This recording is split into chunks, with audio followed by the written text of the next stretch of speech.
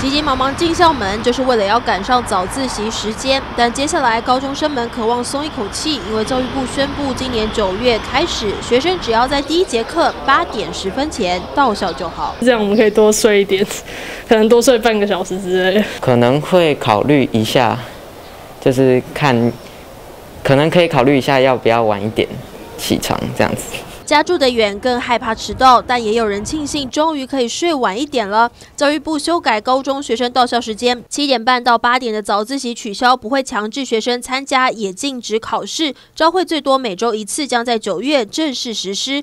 台北市的明星高中也先跟进，北一女表示早就取消了早自习，师大附中则是从一百零九学年度开始，周一到周五两天八点十分前到校就好。另外成功高中则是从这个学期开始就要取消早自习和招会学生同样在八点十分前到校就可以了。目前的还是有招会，但只是说因为疫情期间，我们大概已经一年半左右没有升起，重要的活动讯息我们都是用无声广播。